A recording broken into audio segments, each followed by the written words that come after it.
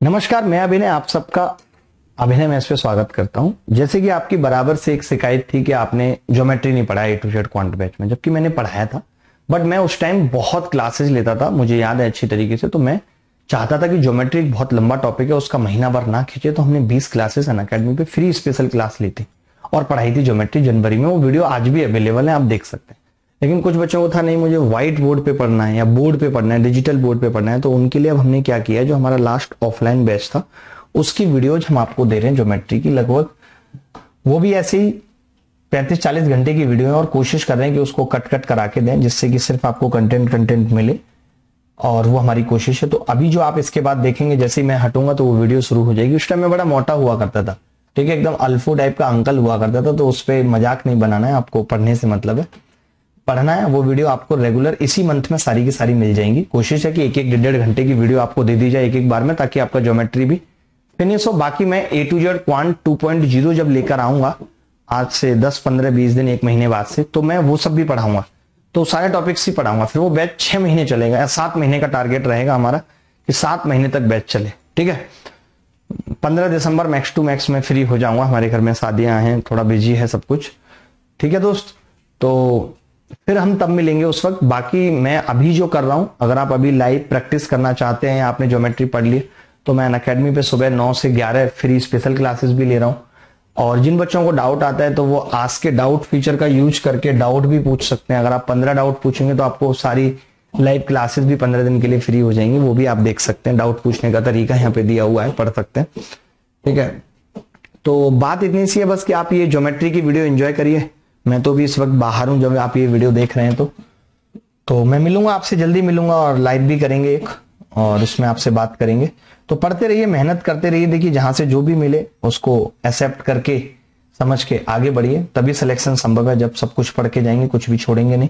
तो जो बच्चे प्री की तैयारी कर चुके हैं, जिनको प्रैक्टिस करनी है तो वो सुबह नौ बजे ज़रूर मिले। तब तक मैं विदा लेता हूँ। आप अपना ख्याल रखें, खुश रहें, और ये इंजॉय करें वीडियो को। चलिए, वीडियो शुरू होने वाली है। देखिए। ठीक है। मुझे भी प्रॉब्लम है। क्या? ठीक है। क्या हाल है जी? बढ़िया। और? ठीक है। गंजे वाले भाई साहब आप कैसे हो? बढ़िया। चलो भाई। आपने भाई साहब इतना मोटा रजिस्टर लिया, रामायण की तरह मतलब पूरा गणित इसी में खत्म करेंगे। नहीं, सही है, बच्चे भी कल को पढ़ लेंगे ना रिवीजन वगैरह कर लेंगे।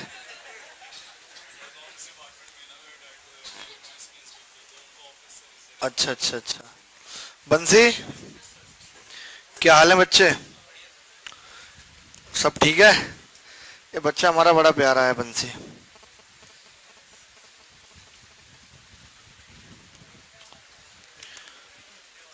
तुम नए आए हो भाई आज? पहली क्लास है। काफ़ी पहले से आ रहे हो।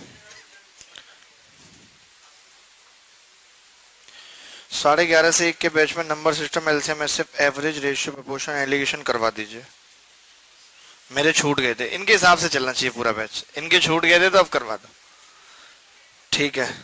पहले एलिगेशन पढ़ाऊँगा, फिर रेशियो, प्रपोर्शन नहीं, पहले एवरेज पढ़ाऊँगा, फिर एलिगेशन फिर रेशियो प्रपोर्शन तीन तो तुम्हारे हिसाब से हो गए। उसके बाद एलसीएम एस फिर नंबर सिस्टम ठीक है? चल देंगे तुम्हारे हिसाब से। एवरेज शुरू करूँगा, लेकिन ट्यूजडे से। मंडे भी टाइम एंड वर्क ही चलेगा। साढ़े ग्यारह से एक। साढ़े चार से तो मैं मेंस के भी कुछ दिन पढ़ाऊँगा। एक्चुअली मतलब मेंस वैसे मैं ऑफलाइन पढ़ाना नहीं चाहता था ऑनलाइन ही पढ़ाना चाहता था। लेकिन ऑनलाइन की फ़ीड यहीं से दूँगा। तो यहाँ पे कुछ बच्चे भी बिठा लूँगा बात करने के लिए, मन भी लगा रहेगा उससे। ये मेरा प्लान है। उसके बाद फिर साढ़े चार से साढ़े छः में सोया करूँगा। आगे वाले टाइम में कोई बैच नहीं पढ़ाऊँगा, सिर्फ़ ये तीन ही बैच पढ़ाऊँगा। मिश्रा जी कैसे हैं आप? ठीक है। चलो भाई, आगे बढ़ते हैं। और कितनी मेहनत हमने अपनी अनसिप कर दी। बाहर गर्मी कैसी है? कम है काफ़ी। बहुत ज़्यादा है। लेकिन अब बेसमेंट में तो पता ही नहीं चलता ना गर्मी का। बड़ा कूल रहता है। मैंने अंदर देखा, बिना एसी के सारे सिस्टम ठंडे पड़े हैं। तो कंप्यूटर ही गर्म हो जाता है ऐसी गर्मी में। बेसमेंट क्या चिल रहता है अपना। ये जिम वाला और दे दे खाली कर दे, खाली नहीं करता बदतमीज। पूरा खुला खुला सा हो जाएगा, कहीं भी बच्चा बैठे अपना। सांस लेने में भी दिक्कत नहीं हो। सर मेरे टॉपिक्स नहीं हुए, इसका तो पूरा अर्थमेटिक ही नहीं हुआ लगता। है सोए वाले बैच में इनके अलावा जो टॉपिक्स बचे हैं वो कराइए। कितने डिमांडिंग हो गए बच्चे ना यहाँ पे। मैं सर ना, नानी के घर गया था तो मेरे दो टॉपिक छूट गए थे। सर मैं वो रेस लगा रहा था मेरे देखने वाले आए थे तो मेरी रेस छूट गई। तो आप देख लीजिए उसमें क्या कर सकते हैं। मैंने अपने ससुर को कहा भी कि तुम इस टाइम पे मत आओ। वो बोले हमें बहुत जल्दी है। वो माने नहीं। नहीं अर्जी फर्जी की बातें करेंगे। आपकी शादी हो गई भाई साहब सिर्फ़ चौबीस साल के हैं। मैं आपको बता दूँ, चौबीस पच्चीस में रिश्ते ठीक आते कर लेनी चाहिए। बाद में क्या होता है ना फिर, थोड़ा समझ जाओ आप बस। हाँ एक बार आप ट्राई कर लो। ठीक है, फिर देखना। चलिए, सवाल करते हैं, शुरू।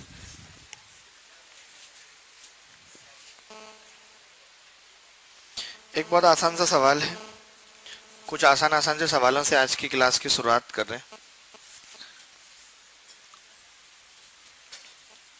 ए बी सी और डी ये एंगल अल्फ़ा बताना है आपको।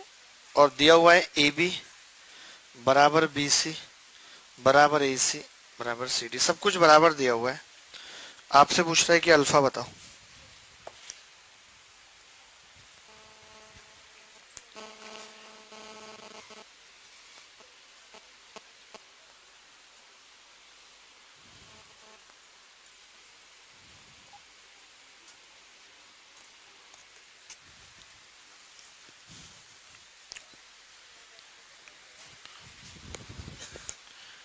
भाई साहब लाइट नहीं जलानी है फ़ोटो खींचते वक्त।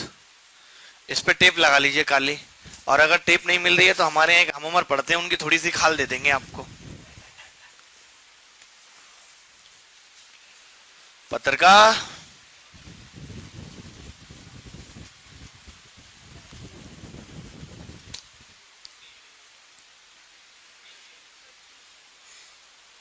कितना आ गया? तीस। आसान सवाल है बहुत। ठीक है।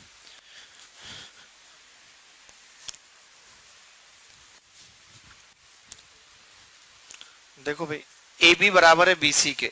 ए बी और बीसी बराबर है बीसी बराबर है ए सी के। यानी ये ट्राइंगल कैसा हो गया? एक तीनों कोण बराबर हो गए तो साठ साठ के हो गए। वैसे लिखने की ज़रूरत है नहीं, तीनों को फिर भी हमने लिख दिया। अब आपको बताया कि ए सी और सी डी बराबर है। ये दोनों भुजाएँ बराबर है तो ये एंगल अल्फ़ा है तो ये भी अल्फ़ा होगा। और ये इसका एक्सटीरियर एंगल है अल्फ़ा अल्फ़ा इसका जोड़ ये होना चाहिए। तो अल्फ़ा कितना होगा? अगर टू अल्फ़ा साठ है तो अल्फ़ा तीस हो जाएगा। तो इतना छोटा सा सवाल बताने में भी आपको तकलीफ़ हो रही है? बताओ मुझे। ये तो बंसी जी कोई महँगा सवाल नहीं था। हो गया था ना? आपसे हो गया, बाकी से नहीं हुआ। बहुत ही गलत है। बहुत ही ज़्यादा टुच्चे सवाल मैं पूछ रहा हूँ अभी आपसे। शिमला वाले भाई साहब। ठीक है आप? बहुत बढ़िया।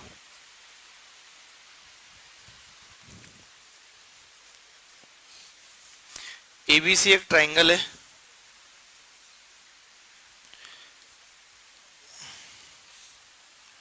एबीडी और ये एंगल सी कौन सी ए बी बराबर? कौन सी ए बी बराबर? Half of angle A C D angle B A D बराबर 85 डिग्री एंगल एडीसी बराबर 40 डिग्री। एंगल एसी भी कितना होगा?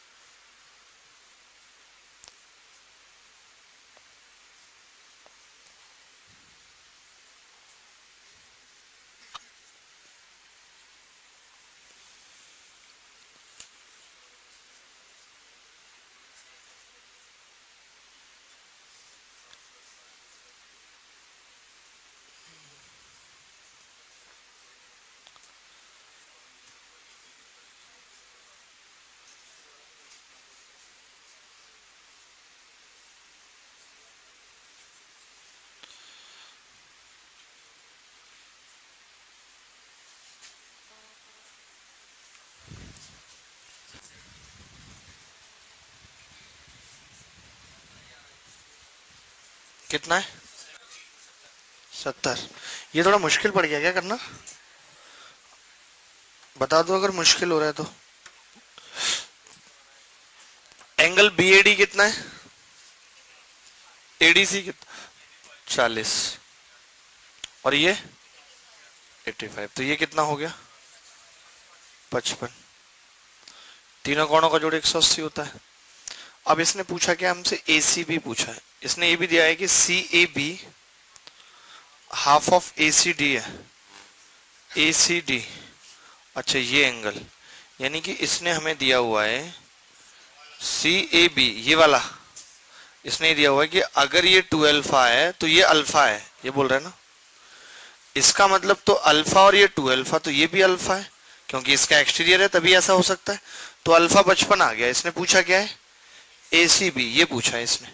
तो ये क्या होगा? One eighty minus two alpha यानी कि एक सौ दस। तो सत्तर आ गया। मुश्किल नहीं था, बस ऐसे ही घुमा फिरा रहा था। ये सवाल जितने भी छोटे छोटे हाल फ़िलहाल के पेपरों में आए हुए सवाल हैं। छोटे छोटे कैसे पेपर में आ रहे हैं सवाल। ये मुश्किल था क्या? ये बॉय ये तुम कैसी कैप लगा गया एकदम फ्लैट इस पे क्या चाय का कप रख के पीते हो? अच्छी लग रही है। क्या नाम है? पहली बार आए हो आज? फ़र्स्ट क्लास है। ओहो, क्या करते हो पढ़ाई में? ग्रेजुएशन हुआ है। बड़े शांत शांत से हो। इतनी शांति से कैसे हो गया? कहाँ से आए हो? लखनऊ से। ओहो, नवाबों के शहर से हो। कोई नहीं। तो ये तुम्हें ऐसे पता है कि त्रिभुज के तीनों कोणों का जोड़ एक सौ अस्सी अंश होता है? कितने लोग नए हैं जिनकी पहली क्लास है आज? एक, दो। तो मैं आता भाई ये नीला चश्मा? आता सब? सही है। आपको भाई साहब? पहले कभी तैयारी की हो? सेल्फ। सेल्फ तो स्टार्ट होता बाइक में। तैयारी में सेल्फ ज़्यादा कुछ नहीं होता। ग्रेजुएशन में क्या किए? बीएससी यार बीएससी में तो गणित होती है अच्छी खासी। तो ये नहीं पता त्रिभुज के तीनों कोणों का जोड़ एक सौ अस्सी होता। है ये सवाल आ गया समझ? चलो, तब तो अच्छी बात है। गांधी जी, आप बताइए, मंत्रिमंडल में तो जगह मिली नहीं, हमारी क्लास में भरपूर जगह ले रही है। इनका नाम है मेनका गांधी। देखिए, दोबारा से समझाते हैं। संतु भाई ओए, कचरा, देखो इधर। ये अपना बच्चा है, खास। सगा स्टूडेंट है, देखो। चालीस और पिचासी कितना हो गया? पचपन। इसने बोला कि ये टू अल्फ़ा है तो ये अल्फ़ा सवाल में दिया। तो हमने बोला कि ये अल्फ़ा, और ये अल्फ़ा होगा, तभी ये टू अल्फ़ा हो सकता है ये भी अल्फ़ा आ गया। यानी अल्फ़ा ही पचपन है, पचपन ही अल्फ़ा है। तो टू अल्फ़ा एक सौ दस हो गया, बचा कितना? सत्तर। मुश्किल नहीं था? मुश्किल कुछ है ही नहीं इस संसार में। एक ही चीज़ मुश्किल है। आपको नहीं पता क्या? अरे यार।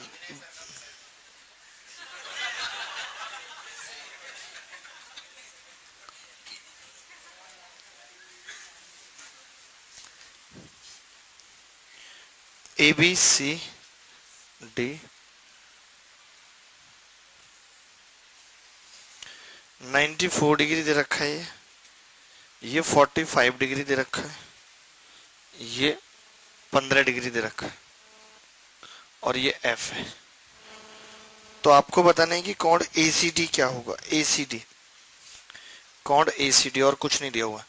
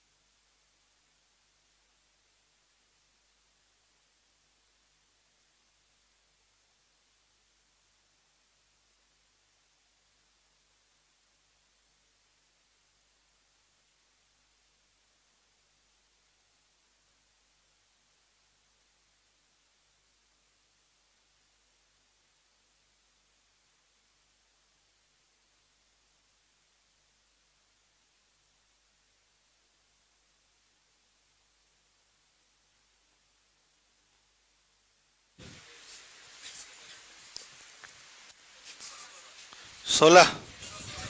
एक सौ सोलह। आसान था ना?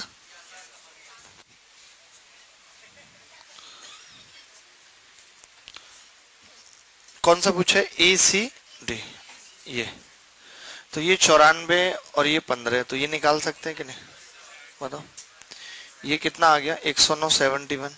ये सेवेंटी वन है और ये पैंतालीस तो इन दोनों का जोड़ कितना होगा? सेवेंटी वन प्लस पैंतालीस।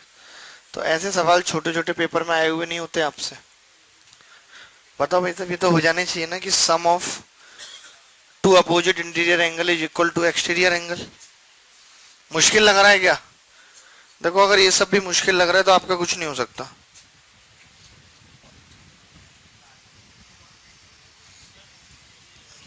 हम्म।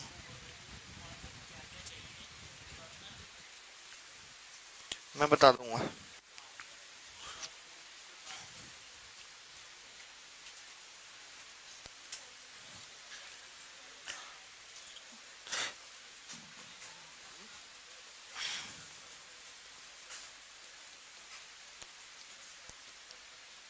ये कौन पैंतालीस है? ये कौन एक पैंतीस है? ये एक सौ बीस है? ये सत्तर है? बस ये पूछा है ए कितना हो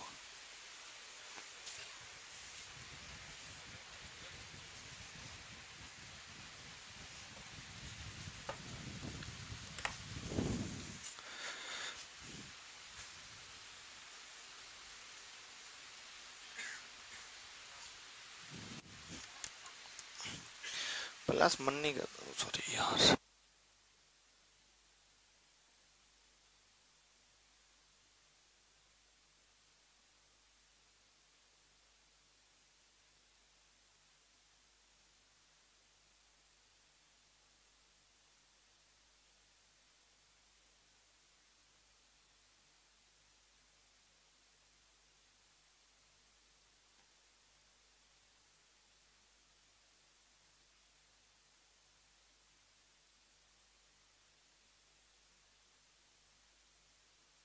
कितना आ गया?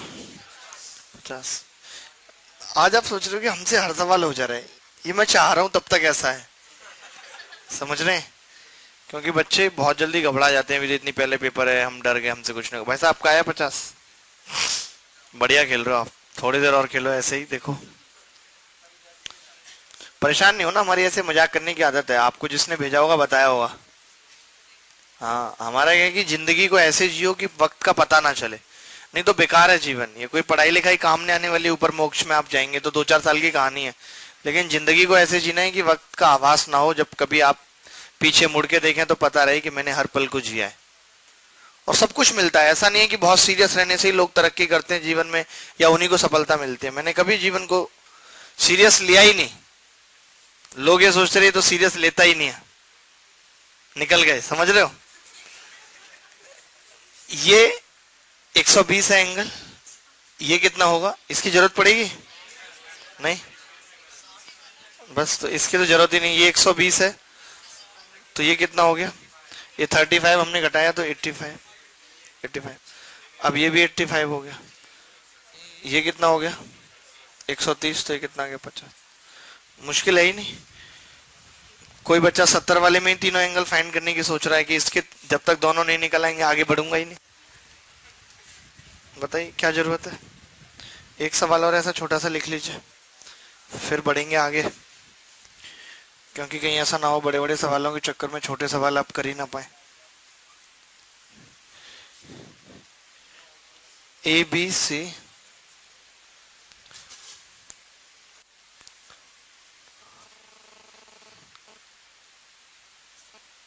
डी ई और एफ़ इसने बोला है कि ए बी जो है वो पैरेलल है,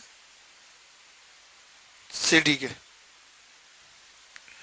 कौन ए बी सी? पैंसठ है। कौन सी डी ई? पंद्रह है। ए बी बराबर ए ई है।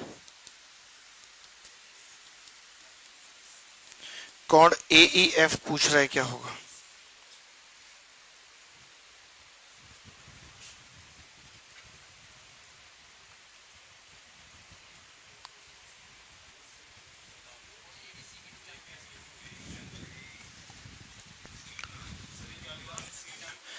सी डी ई लिखा है लास्ट में ई e.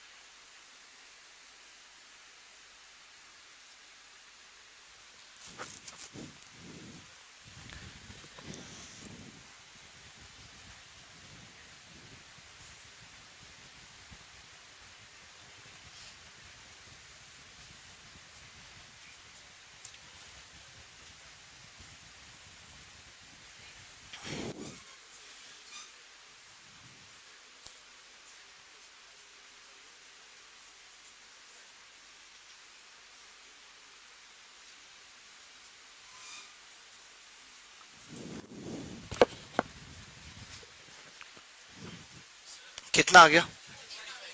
थर्टी फाइव ठीक है भाई। एबीसी एंगल कितना है? पैंसठ.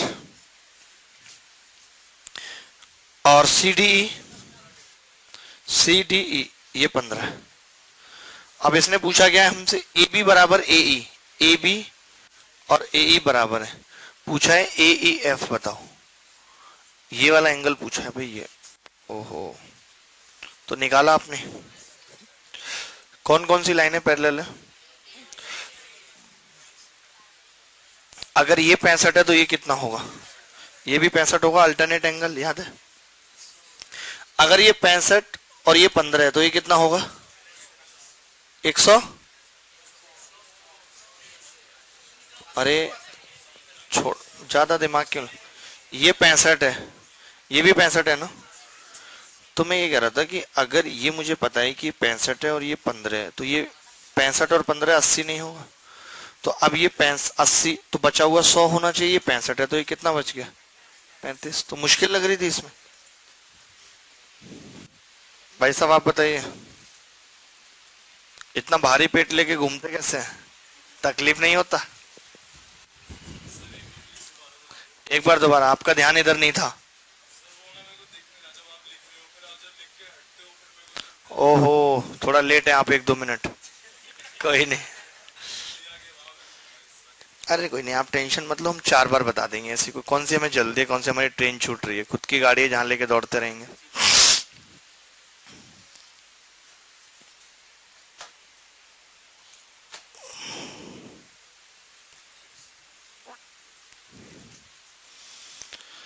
एक बात याद आ गई, चलो, देखो इधर दोबारा से। ये पैंसठ तो ये भी पैंसठ होगा, क्योंकि जब दो लाइन ऐसे पैरेलल हो तो ये अगर पैंसठ है तो ये भी पैंसठ होगा।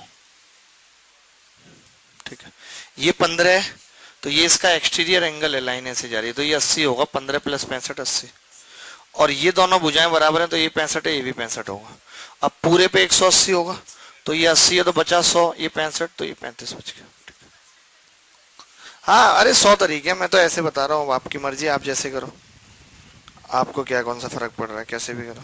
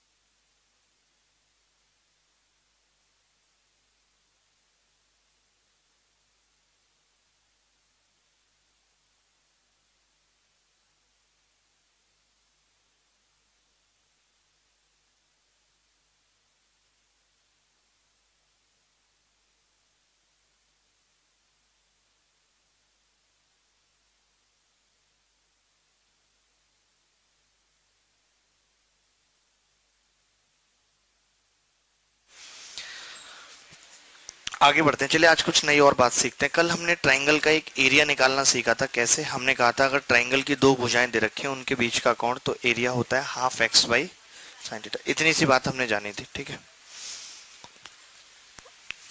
उससे आगे की दो बातें जानने से पहले दो छोटे छोटे से नोट बना के लिख लीजिए। उन मैं दो सवाल आपसे पूछ लेता हूँ। इस बार भी उससे पेपर में सवाल आया है नोट वन ठीक है? कि एक ट्राइंगल है एबीसी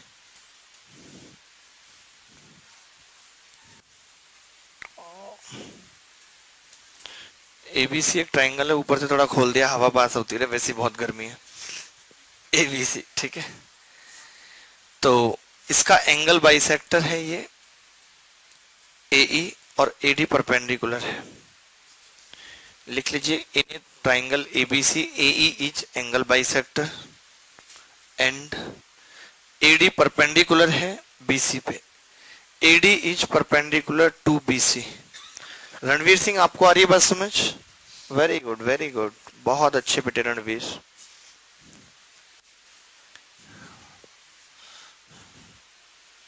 यहाँ इतनी बड़ी बड़ी सेलिब्रिटियाँ पढ़ रही हैं, रणवीर, संतु।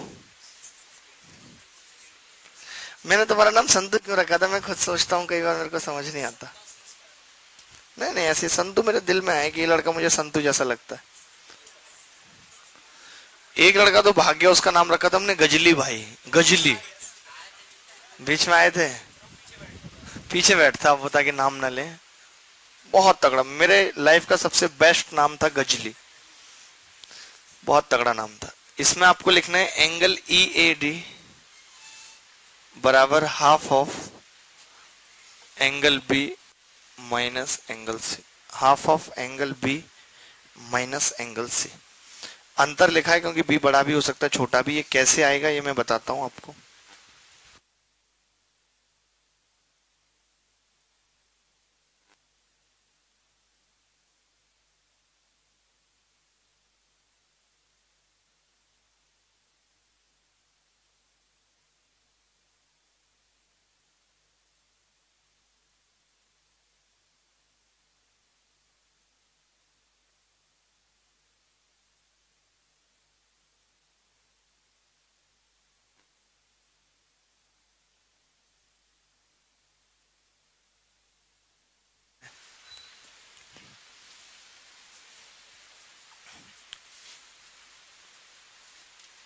देखिए, ये एंगल कितना होगा अगर हमने एंगल बाइसेक्टर लिया है तो।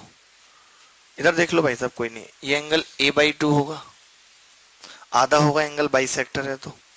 ये एंगल सी है। तो ये कितना होगा? C plus A by two अब आपको बताइए कि ये नब्बे है तो इसका इसका सम भी नब्बे होगा। अगर ये निकालना है मुझे तो मैं नब्बे में से घटा दूँगा सी को भी और ए बाई टू को भी। एलसीएम ले लिया दो। 180 minus two C minus A, लिख सकते हैं।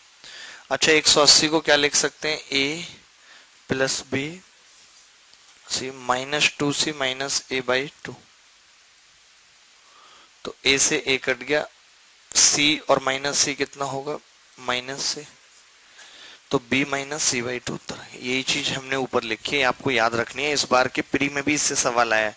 आप में से अगर किसी ने प्री दिया और उसके सेट में आया हो तो। दिया है प्री की नहीं?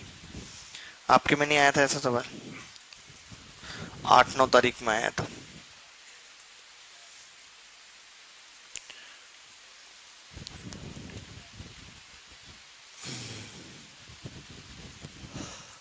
ये बात याद रहेगी, कंठस्थ रहेगी। बंसी भाई, आपको आ रहा है सब समझ? यार आपका नाम हमें वैसे ही बहुत बढ़िया लगा, रखने की ज़रूरत ही नहीं पड़ी।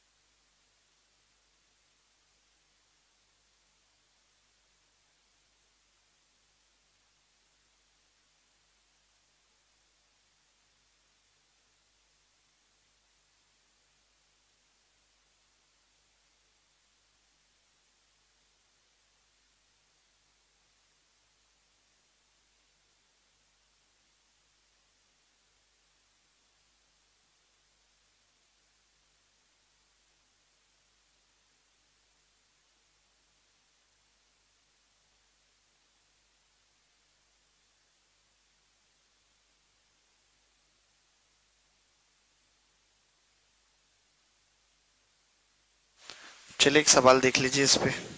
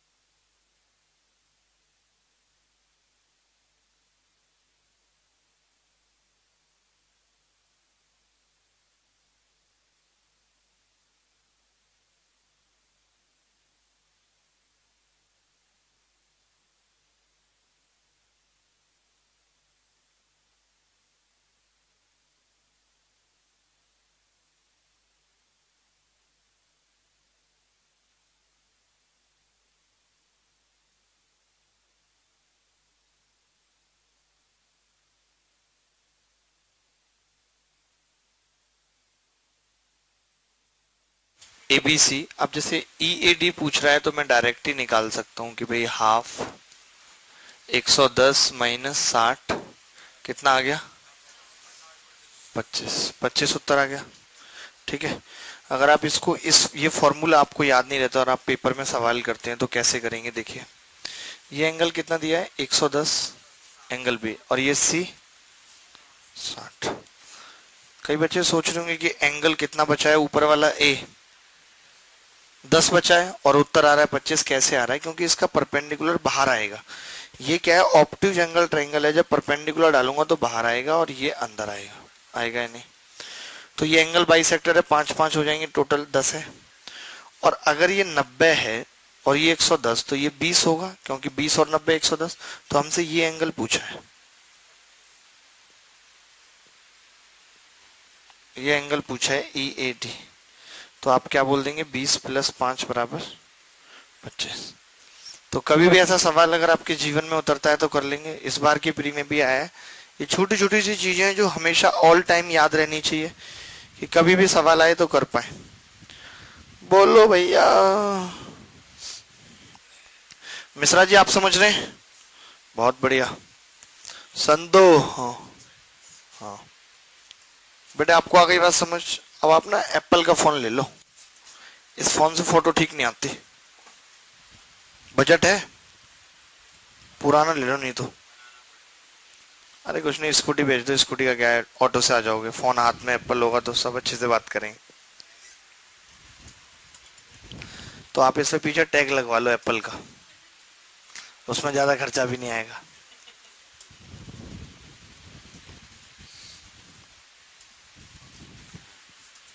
एप्पल का आप कोई भी सामान लो तो उसके अंदर दो टैग निकलते हैं एप्पल के। आप सस्ता बैग खरीद के उसे लगा लो। बंदे को लगता है कि ओरिजिनल है। ऐसे टैग लगाने से होता तो बंदे महिंद्रा पे बीएमडब्ल्यू का लगा के घूमते। लेकिन पहले हम लोगों को ऐसे ही लगता था, टैग मिल जाए, मज़ा आ जाए। बोल दो क्या ही जा रहा है एप्पल का बैग है। कई बंदे बड़े चालू होते उसका कमी नहीं कर इसकी चैन पे तो लिख नहीं रहा एप्पल है। चैन खाएगा तू? कई बार तो आप शर्ट बताओ यार, ये इस ब्रांड की शर्ट है। अरे यार, इसके बटन पे तो नहीं लिख रहा। तो तू लिख दे। ऐसे मिलते होंगे, आपको भी ना ऐसे बंदे चिंदी चोर टाइप के। सामने वाला तारीफ़ कर रहा है, अरे करने तो तुम क्यों डिस्टर्ब कर रहे हो बीच में? तुम भी करो। इसका नोट टू लिखना है दोबारा से।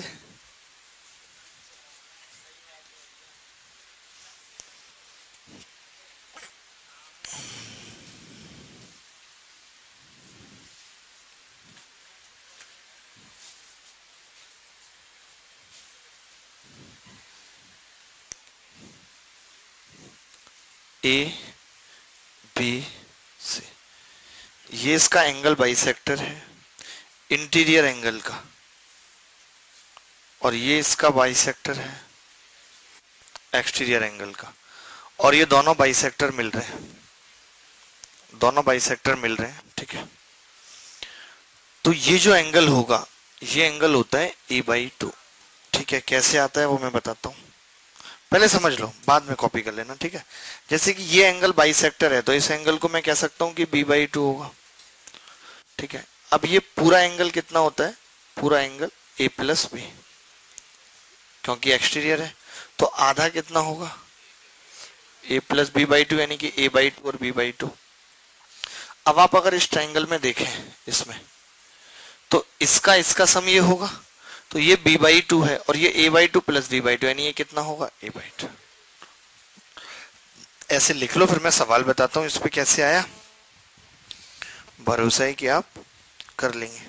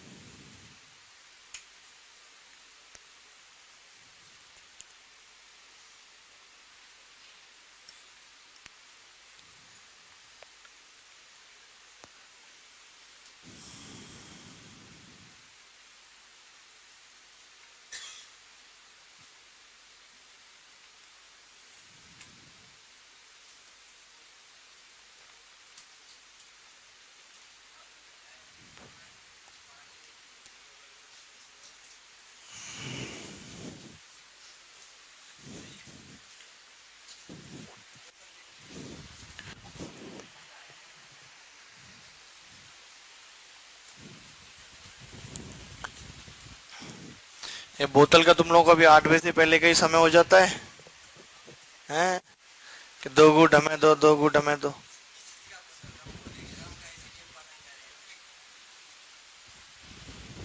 तुमको तो इन सब बातों की बहुत नॉलेज है। हाँ। इस पे देखिए सवाल 2017 प्री में आया था 18 प्री में इससे पहले वाले पे आया था बस। कुछ भी ना चित्र बनाया था, ना कुछ मतलब ना कुछ बात लिखी थी, बस डायग्राम बना दिया था। ऐसे करके कि ये एंगल एक्स है तो ये भी एक्स ये एंगल वाई है तो ये भी वाई बस। और कुछ नहीं, और ये 48 था और आपसे एंगल ए पूछ रहा था, क्या हो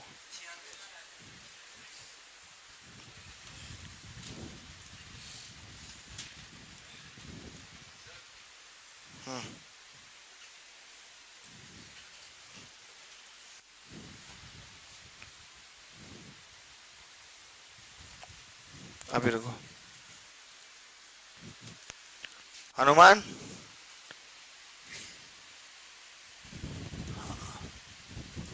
मैं कह रहा हूँ बच्चे बोल रहे हैं कि पीछे की तीन ट्यूब फीज है, देखने में प्रॉब्लम हो रही है। कौन सी ट्यूब फीज है पीछे की तीन, जो आपको अभी तक नहीं दिखी है? भाई बता दो इनको जिसने लिख के भेजा है। नहीं तो ये लोग बाद में मुझे कहेंगे, कोई फीज ही नहीं है। अभी बदलवाओ यार इनको। पता नहीं क्या। फ्यूज नहीं है। दिक्कत क्या है? प्रोजेक्टर पे साफ़ नहीं दिखता। झूठ क्यों बोल रहे भाई तुम ट्यूब फीज है। मोबाइल की टॉर्च जला लो। अगर आपको अपनी कॉपी पे नहीं दिखाई दे रहा है तो। नहीं तो दस रुपए का पेन भी आता है, उसमें हल्की लाइट होती है। उस टाइम पे लाइट वाले पेन लाइट वाले जूते चारों वाले, जो चारों वाला पेन आता था रेड कितना क्रेज होता था इन चीज़ों का नहीं? सब उतर गया धीरे धीरे बहुत देखिए, ये एक्स एक्स है, इसका मतलब ये एंगल बाई सेक्टर है वाई वाई है, ये एंगल बाई सेक्टर है तो ये कितना होगा? अड़तालीस अड़तालीस। छियानवे कर लेंगे, ऐसा कोई सवाल आएगा? चलिए, अब कुछ अच्छी अच्छी बातें सीखते हैं। ठीक है? आगे बढ़ते हैं। अगले पेज पे चलते हैं। यहाँ तक किसी भाई को कुछ पूछना है, किसी भी सवाल में कोई डाउट है तो बता दो आपको जी, मथुरा तो मैं आ रहा समझ? ठीक है।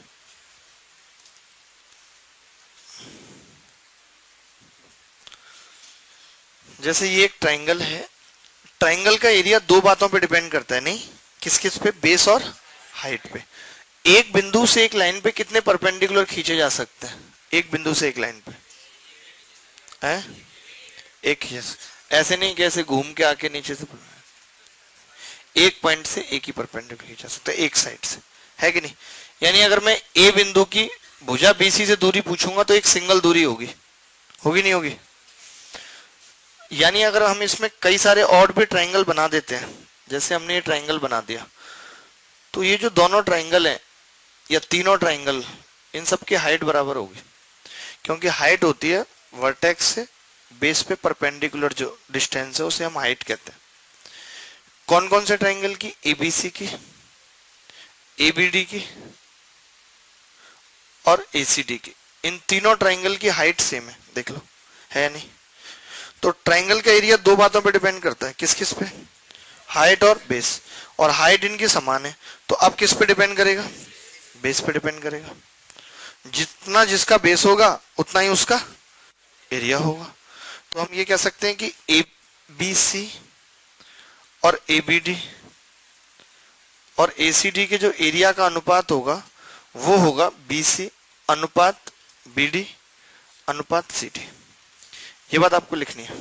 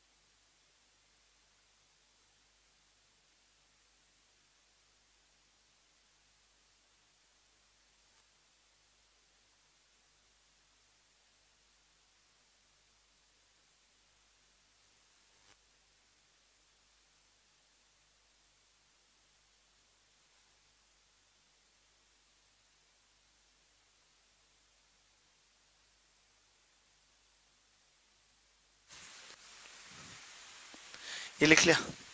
जैसे एक और एग्ज़ाम्पल इसके साइड में लिख लो। आगे वाले पेज पे चले? ये कॉपी कर लिया आपने? थोड़ा जल्दी जल्दी लिखा करें।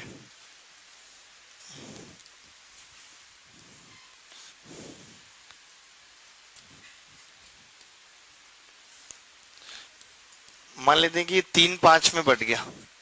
तो मैं आपसे पूछूँ कि एरिया ऑफ़ एबीडी और एरिया ऑफ़ एसीडी का अनुपात क्या होगा? तो आपका जवाब होगा तीन पाँच ही होगा। कितना होगा? तीन पाँच। तो अब मैं आपसे बहुत छोटे छोटे से सवाल पूछना शुरू करता हूँ। ठीक है? बहुत छोटे छोटे से सवाल। हम ज़्यादा सवाल करेंगे, लेकिन आगे तभी बढ़ेंगे जब आपको समझ आ जाएगा। ठीक है जी? तो तैयार है दोस्तों आप?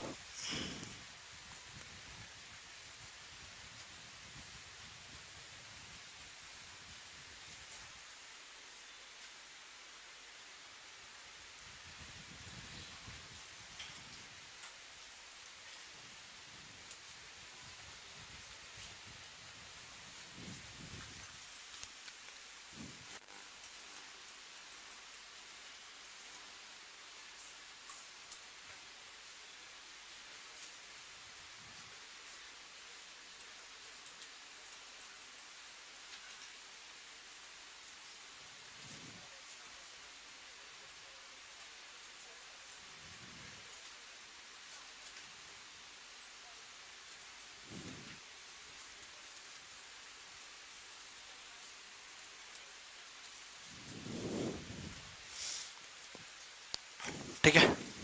एक बहुत छोटा सा सवाल से शुरुआत करता हूँ आपसे पूछता हूँ।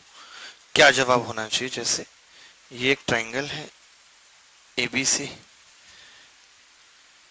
और ये एक लाइन है डीई e, तो एडी अनुपात डीबी बराबर तीन पाँच है और ए e अनुपात ईसी e बराबर एक तीन है। समझ रहे हैं? आपको बताना है कि एडीई अपॉन एबीसी का अनुपात क्या होगा? एरिया का। इतनी सी बात बतानी है बस, और कुछ नहीं। देखिए, ये दो बातें जो मैंने बताई हैं आपको, एक तो कल बताई थी कि अगर त्रिभुज की दो भुजाएँ और उनके बीच का कोण दिया है, और एक बात आज बताई कि एरिया बेस के अनुपात में बढ़ता है। ये both the things are complementary ये एक ही चीज़ें हैं अगर ये लगाएँगे तो उसकी ज़रूरत नहीं पड़ेगी और वो लगाएँगे तो इसकी ज़रूरत नहीं पड़ेगी। तो हम आगे आने वाले चार पाँच सवाल दोनों मेथड से करेंगे। एक्स वाई साइन थीटा से भी और जो आज बताइए वो। आप जानेंगे कि क्या इनमें अंतर है और क्या क्या खास बात है। ठीक है जी? तो तैयार हैं दोस्तों आप?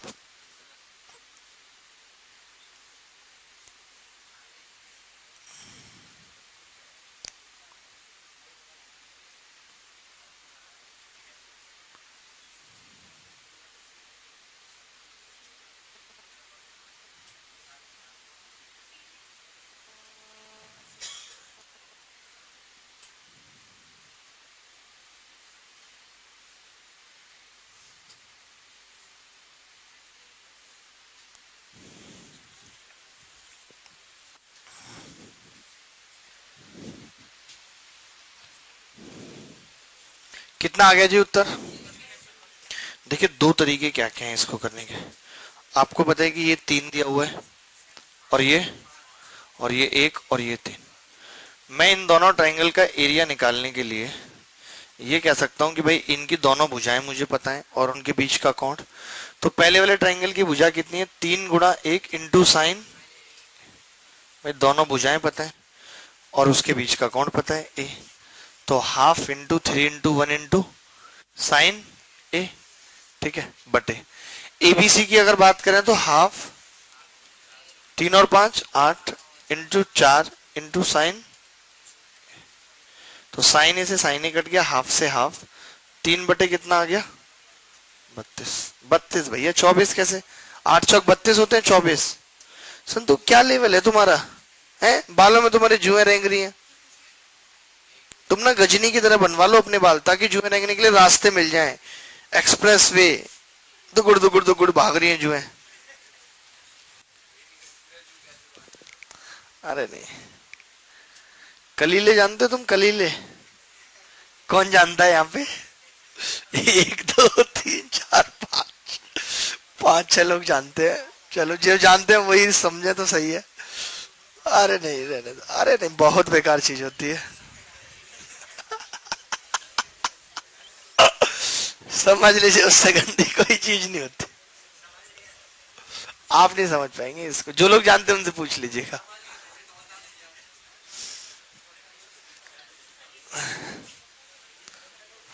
देखो भाई संतु, अगला तरीका क्या है? भाई साहब, अगला तरीका जानने जा रहे हैं इसका। ठीक है, रेडी हैं आप? देखो। अगला तरीका क्या है? कि अगर मैं इस लाइन को इससे मिला दूँ, ए इससे तो आप ये कह सकते हैं, इसका एरिया तीन, इसका पाँच होगा, क्योंकि ये लाइन इसको बेस के अनुपात में बांट रही है। बेस का अनुपात तीन पाँच है तो एरिया का भी कितना होगा? तीन पाँच। होगा या नहीं? अब आप मुझे बताइए कि इस पूरे ट्राइंगल का एरिया कितना है, इस पूरे का? आठ। और ये लाइन इसको एक तीन में बांट रही है तो एरिया भी आठ या चौबीस होगा। तो ऊपर वाले का एरिया कितना आया? तीन। और पूरे का कितना हो गया? बत्तीस। एक ये तरीका था। तो मैंने यही कहा आपको कि हम हर सवाल को दोनों तरीके से करें। तो मैं नहीं आई भाई बात समझ। ओहो, गाना गा लेते हो ना, तुम दिल की धड़कन में रहते हो। पढ़ाई नहीं आ रही समझ तुम्हें? आप ही पूछे, गाना कौन कौन गा लेते हम भी गाएँगे तो। गाएँगे, बाहर फूल बरसाओ। हमा महबूब आया है।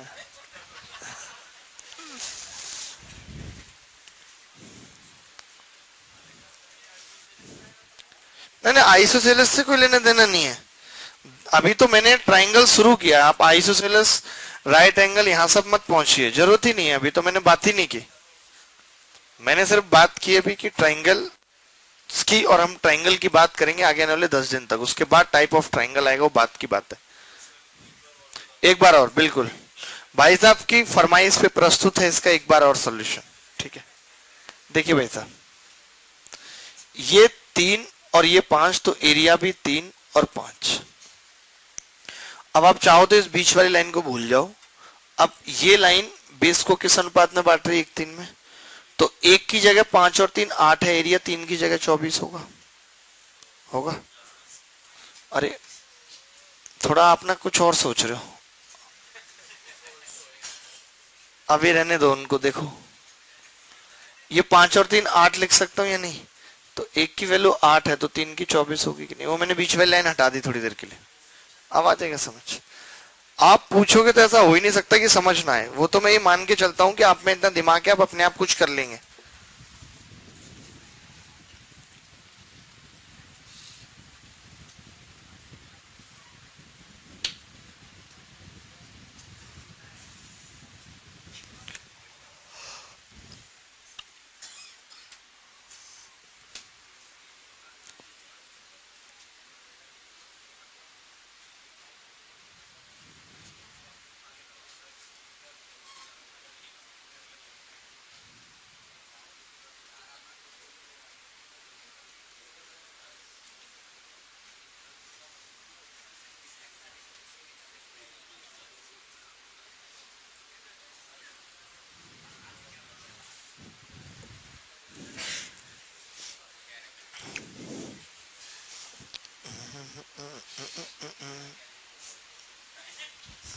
फेंक दो इस फ़ोन को। पापा को दिखाना कर जाके पापा ऐसी फ़ोटो आ रही है, इस फ़ोन में बदलवाओ। बदलवाएँगे कि नहीं फिर? बहुत कुछ बदलवा दिया पापा ने। हाय राम। तो तुमने उनकी मानी क्यों?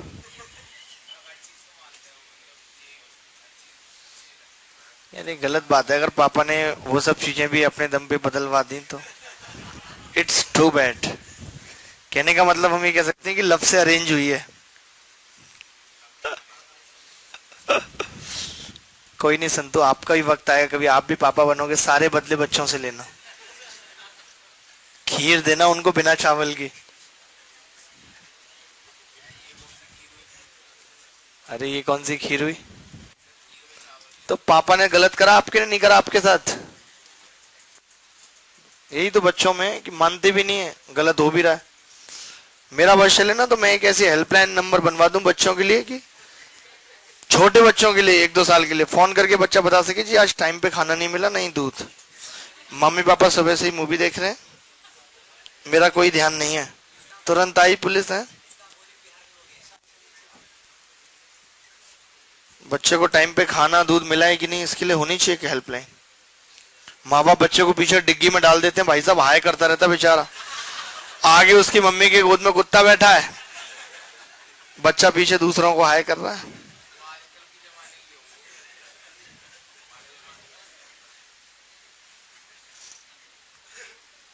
एक बहुत खूबसूरत सा सवाल आपकी नज़रों के सामने है।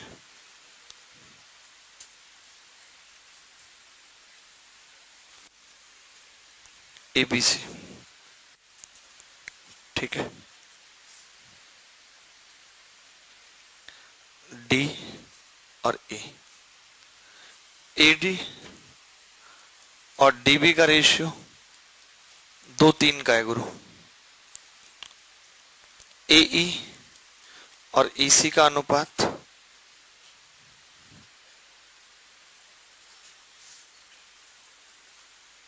चार पाँच का चार पाँच का।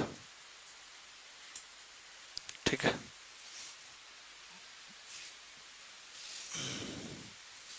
चार पाँच ज़्यादा हो रहा है। तीन एक लिख लेते हैं। नहीं, तीन एक भी ज़्यादा हो जाएगा। चार एक लिख लेते हैं। चार एक, ठीक है।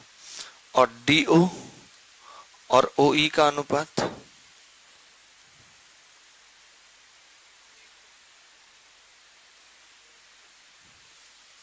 दो एक। मैंने एक बार और चेंज किया है। पाँच चार ठीक, एक बार बस लास्ट था पाँच चार ठीक है? इतना सब दिया हुआ है, आपसे पूछ रहे हैं कि बी ओ सी बटे ए बी सी की क्या उम्मीद है? B O C upon A B C की क्या उम्मीद है? जितने भी हथकंडे आप लगा सकते हो, एक बार लगाओ, अजमाओ।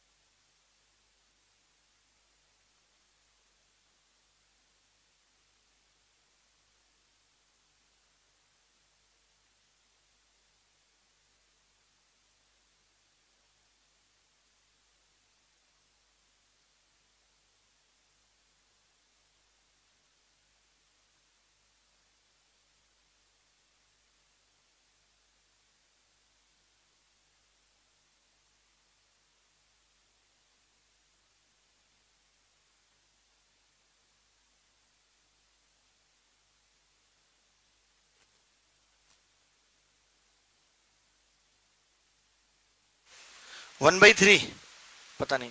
आप बता सकते हैं जी भाई साहब, आपको कुछ समझ आ रहा है जो इतना बताया अभी तक? क्या किया ग्रेजुएशन में? ग्रेजुएशन नहीं हुई? तुम अभी से पढ़ाई स्टार्ट कर रहे हो, चलो ये भी मान लिया। वो भी ज्योमेट्री के बैच में है वो तीसरी क्लास में।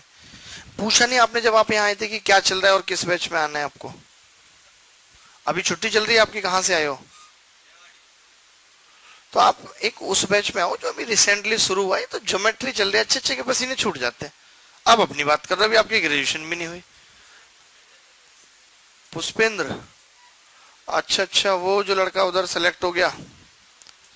अच्छा उसके जानने वाले, उसके कौन लगते हैं? भाई हैं। आप चाचा लगते हैं उसके?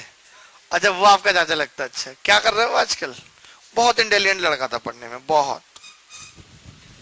प्री में उसके कम नंबर थे, लेकिन उसने मेंस में बहुत अच्छे नंबर लेके आए। आ जाएगा, अभी आपने ऐसा करो, ये ज्योमेट्री के अलावा साढ़े ग्यारह वाले बैच में आओ आप मंडे से ट्यूसडे से, ठीक है? हाँ अर्थमेटिक में एवरेज स्टार्ट होगा। बस टाइम एंड वर्क हुआ है अभी। हाँ टाइम एंड वर्क हुआ है। साढ़े ग्यारह से एक, ठीक है? इंग्लिश की क्लास है उससे पहले। चलो कोई नहीं, अभी आते रहो, अब तुम्हें तो हमें पढ़ाना ही है तो उसमें क्या ही तुम्हें ज्ञान दे, ठीक है? आ जाएगा धीरे धीरे। पढ़ते रहो। देखो भाई एडी और डीबी का अनुपात कितना दिया हुआ है? दो, तीन। और इसका कितना दिया हुआ है? पाँच। चार। और इसका कितना है? दो, एक। ठीक है? यही दिया हुआ है। कहाँ से शुरू करें? एरिया निकालना आप बोलो, जैसे आपको ठीक लगता है। इधर से आसान पड़ेगा, इधर से चलेंगे तो। नहीं? ठीक है। तो मैंने बोला कि इसका एरिया चार अगर मान लू तो इसका कितना होगा? इसमें कोई ऐतराज अगर किसी को है तो बताओ। देखिए, जब हम ये एरिया निकाल रहे होते हैं, तब हम सिर्फ़ क्या देख रहे होते हैं, पता है? ए ओ सी ट्राइंगल देख रहे हैं कि जो ओ ई लाइन है, वो बेस को पाँच और चार के अनुपात में बांट रही है। बांट रही है नहीं? तो फिर एरिया भी क्या होगा? पाँच और चार के अनुपात में होगा। बोलो।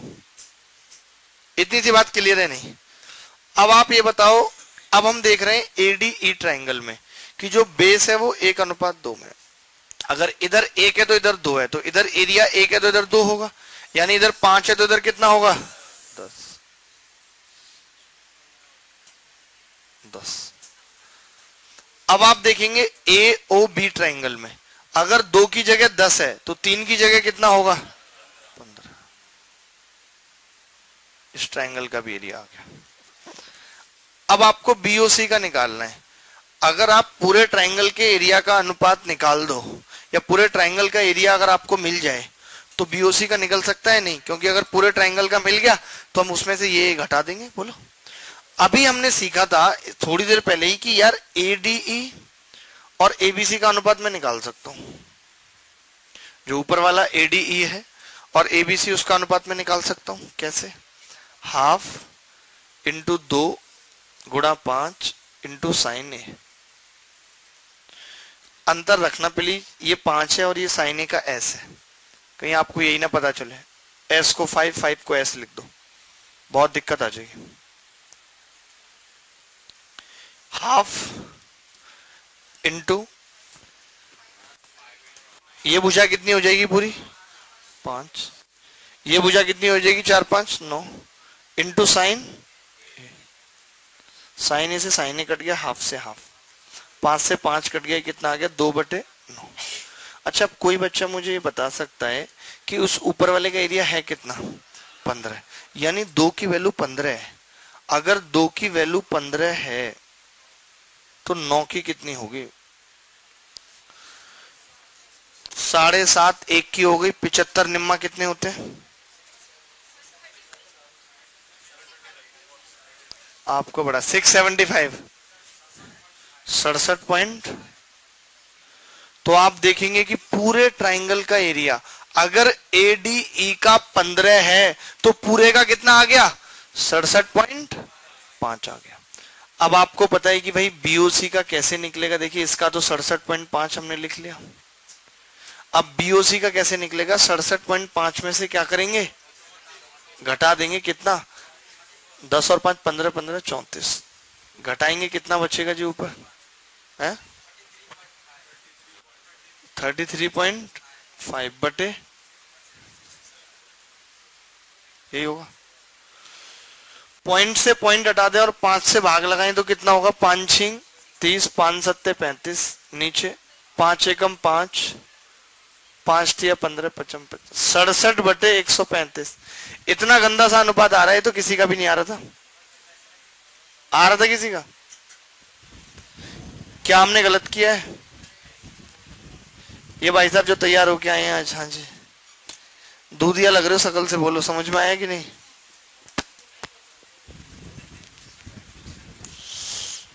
आज बहुत दिनों में आए हो ना? तो नहा के आए हो इसीलिए, सामने। आपको समझ आ रहा है जी? इंजीनियर है आप। वेरी गुड कैसा लगता है इंजीनियरिंग करने के बाद पूरे रिश्तेदारी में चर्चा होगी जी उनकी बेटी इंजीनियर है? होती है चर्चा वर्चा? नहीं। बिहार में ज़्यादा होती है। इनने तो एमटेक भी कर रखा है। फेल हो गई लेकिन दो बार एमटेक में। घर पे झूठ बोल दिया कि मेरा इंटरेस्ट नहीं है एमटेक में। ऐसे हुआ। थोड़ी गंदी सी वैल्यू मैंने जानबूझ के दी थी ताकि थोड़ी कैलकुलेशन आप सीखें अब। कैलकुलेशन सीखने का वक्त आ गया। पीछे भाई साहब पबजी वाले। पबजी एडिक्टेड है ये। कौन सा होता है? एडिक्टेड सुन तो आप भी खेलते हैं। आपकी तो अभी वो खेलने की उम्र है। कौन सा होता है? नहीं नहीं। अरे वो जो अरे वो जो उसको पर, नहीं नहीं बहुत हम लोगों ने आपने बहुत खेला है वो। अरे नहीं यार।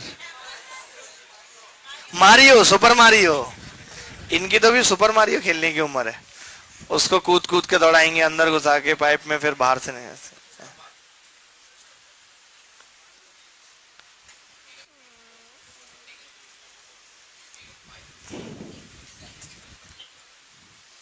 टेकन फाइव खेलते।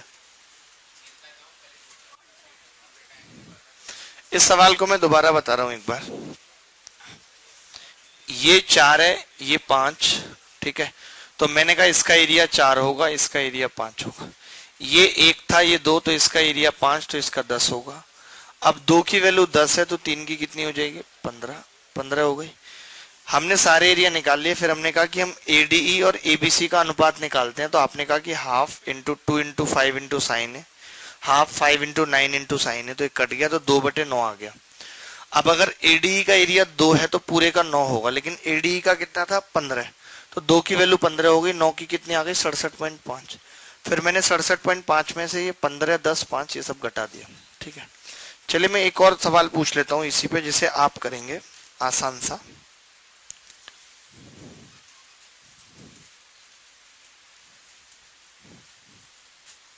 डी और ए क्योंकि अभी तक ये आया नहीं है सवाल आना चाहिए ए, बी, से। ये ओ है। अब की बार दिया हुआ है बस ए, डी, अनुपात, डी, बी, बराबर सीई अनुपात, ए, ई, बराबर, तीन अनुपात, एक। एक अनुपात तीन। या तीन अनुपात एक ही लिख लो। क्या फ़र्क पड़ रहा? ठीक है? ओ डीई का मिड पॉइंट है। तब आपसे पूछ रहे हैं कि बीओसी अपॉन एबीसी क्या होगा?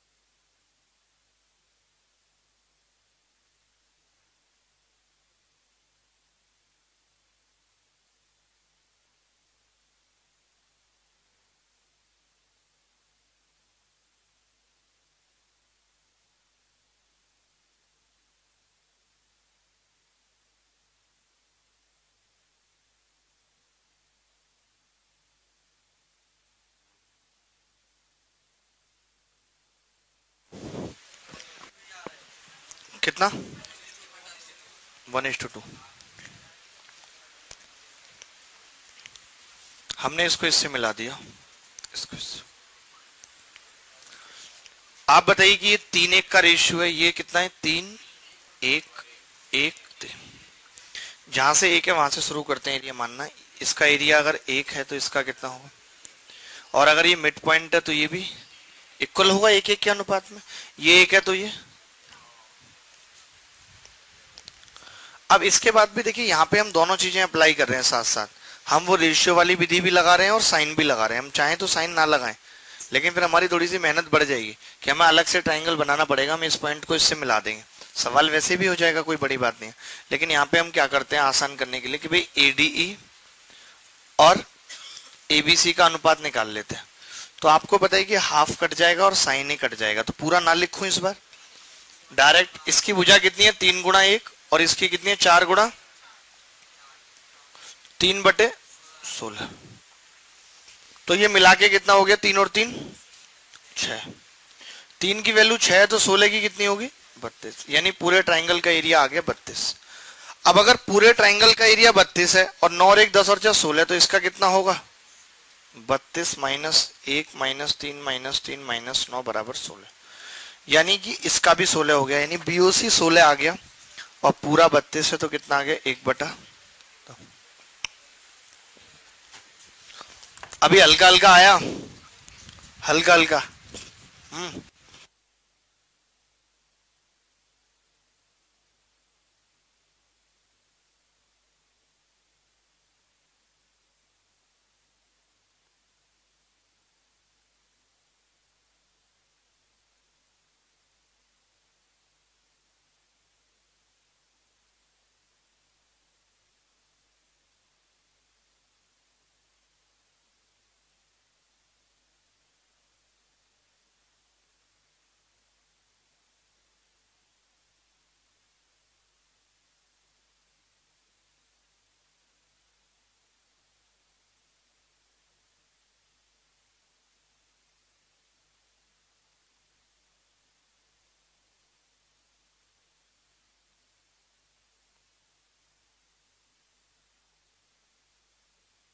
एक और सवाल लिखना है।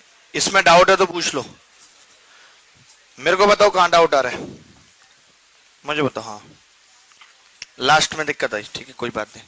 आप ये समझ गए एरिया एक और ये तीन तो एक तीन हो गया। ये इक्वल है तो ये तीन तीन हो गया। ये एक तीन है तो तीन नौ हो गया। ठीक है। तो हमने कहा कि अब हम एडीई e और एबीसी का अनुपात निकालते हैं तो हाफ़ आएगा और दोनों भुजाएँ आएँगी, तीन गुणा ये साइन है। तो मैंने हाफ़ और साइन काट दिया, क्योंकि बार बार लिख रहा था तो तीन गुणा एक आया।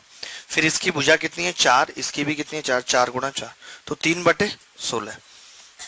तो एडी का एरिया कितना है? तीन की छ और सोलह की बत्तीस। ठीक है? तो पूरे का एरिया बत्तीस आ गया। तो हमने कहा अगर ये नौ और एक दस और छह सोलह घटा दें तो इसका भी कितना होगा? सोलह। तो सोलह बीओसी का आ गया और बत्तीस पूरे का एक बटा दो आ गया। ठीक है?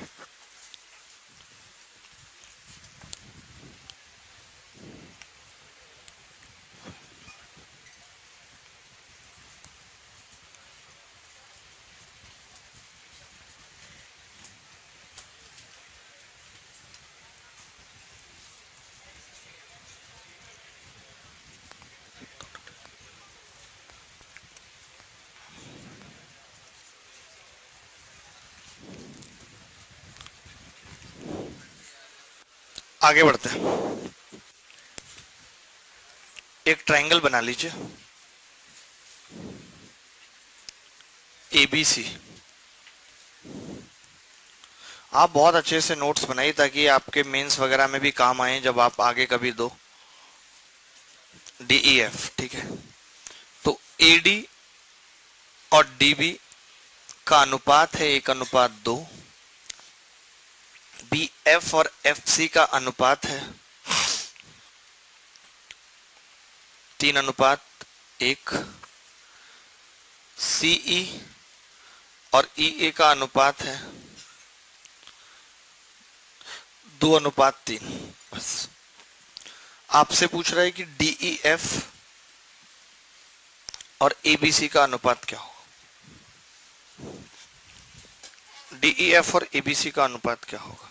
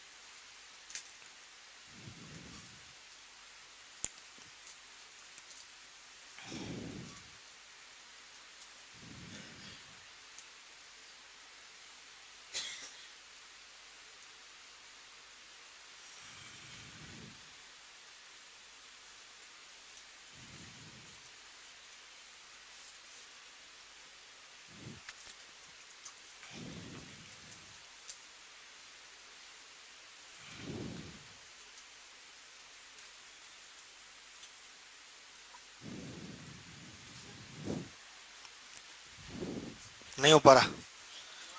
संतु भाई ये लड़के, ये एक है और ये दो और ये तीन, एक और ये दो तीन। यही है भाई।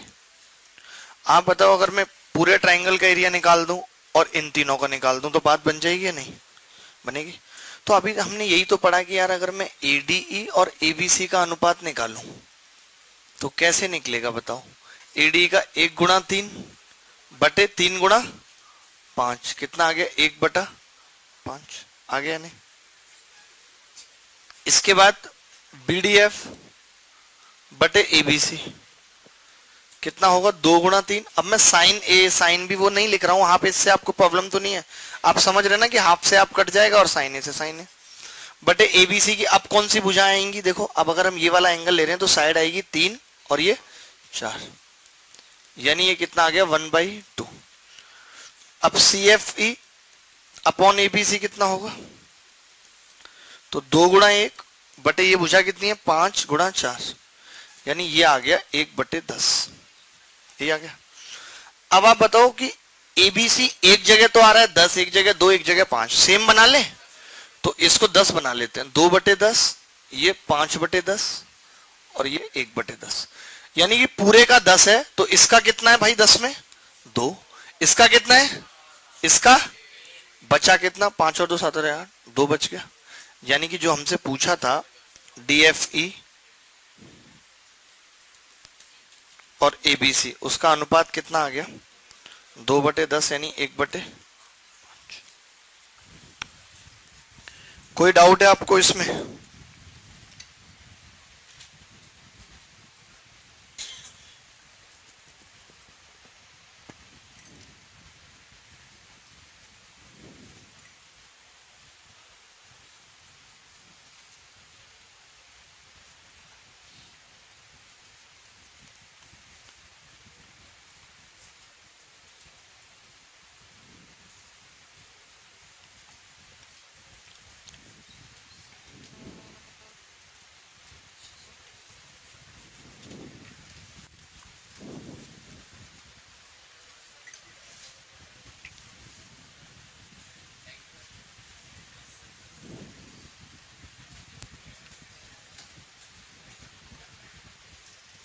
चलो, आज इतना काफ़ी नहीं हो गया। कल इससे आगे बढ़ेंगे, लेकिन आराम आराम से पढ़ेंगे। पढ़ना बहुत है, दो महीने लगेंगे ज्योमेट्री खत्म करने में। आप दिल थाम के बैठिए।